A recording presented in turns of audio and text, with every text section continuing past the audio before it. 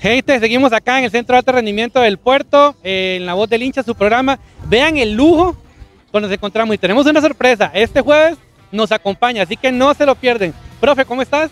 Muy Bienvenido acá a La Voz del Hincha, a las pantallas de Radio Puerto. Profe, felicitarte por la gran labor que estás haciendo.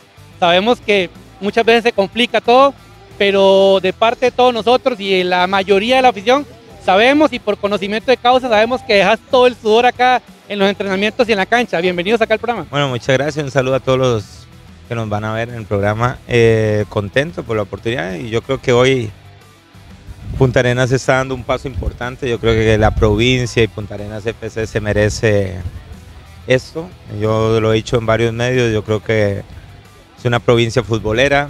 Yo estoy de paso en esta gran institución, pero ya ver la felicidad de los jóvenes ahora entrenando, la cancha natural, y ustedes han visto que nosotros a las 6 de la mañana estamos aquí, tenemos la oportunidad de entrenar en la cancha sintética y que estén también presidentes de otros equipos felicitando no solo a Doña Silvia, a Don Felipe, a mí personalmente, a Roberto Bon. Yo creo que esto es importante para la provincia. Estoy muy contento y como le digo, la, yo creo que esto me compromete más o yo soy el primer responsable para trabajar fuerte y que los jugadores también que están aquí sepan de que lo mínimo que se merece es cerrar fuerte y que Punta Arenas siga en primera edición. Profe, las cosas sabemos que se van a ir dando poco a poco porque el premio al esfuerzo y al trabajo es la recompensa de los partidos y los resultados.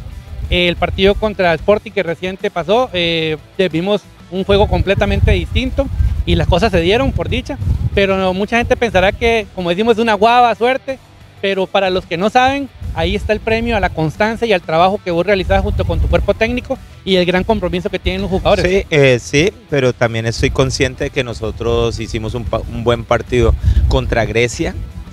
Llegamos a siete puntos, hicimos dos malos partidos contra Liberia y contra ADG y otra vez seguimos en ese problema del descenso. Yo creo que, que tenemos que llegar a 37 puntos en la tabla general, tenemos que llegar a, 10, a 19 en la tabla de actual del, de, de, clausura. Sacarle cinco, eh, cinco puntos a Pérez de León es lo ideal para nosotros.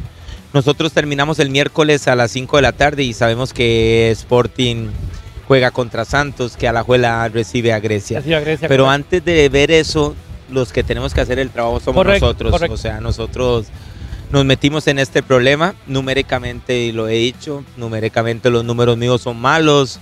Yo tengo 11 puntos de 21 en casa, tengo 5 de 27 de visita. Yo, yo soy el primer responsable de que los números son malos.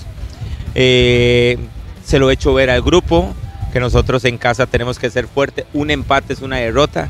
Sé que estamos a mitad de semana el miércoles, que tal vez mucha gente trabaja, pero ojalá que la afición nos acompañe y representar dignamente a esta gran institución con un triunfo el miércoles sería lo ideal. Y el, y el jueves que lo tenemos, profe, te tenemos, vamos a seguir comentando mucho más temas el jueves con el profe, así que estén pendientes. Bueno, esta entrevista la vamos a pasar el jueves y vamos a celebrar la victoria Dios del primero. miércoles contra Pérez de León. Profe, muchísimas gracias. Mucho gusto. Y ustedes estén atentos porque se vienen sorpresas para este jueves.